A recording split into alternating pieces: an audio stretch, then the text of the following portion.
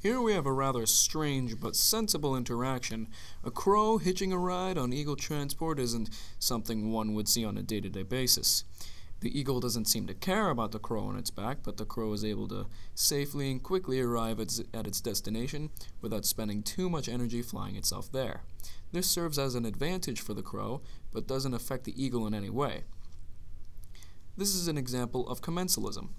Another example of commensalism would come from the Principia High School, in which students compost leftover food after meals. It doesn't affect the students themselves, but it serves as an economic and environmental benefit. Now here we see a more common relationship, just not in the United States. Now this interaction is between the Egyptian plover and an African crocodile. The Egyptian plover native to Africa, is blue-gray and grows about 19 to 21 centimeters long. The African crocodile, native to Africa, can grow anywhere from three and a half to five meters. That's 11 and a half to 16 and a half feet. All this weighing from 500 to 1600 pounds. In comparison, the average American alligator is 13 feet weighing about 800 pounds.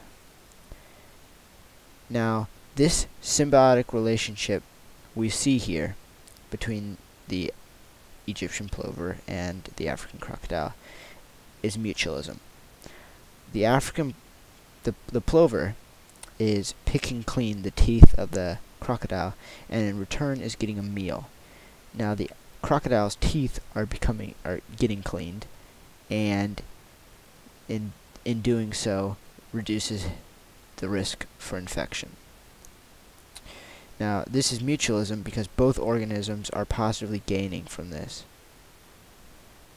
Mutualism at Principia may look like a study group before final exam, where all students share their knowledge and in return learn what they didn't know.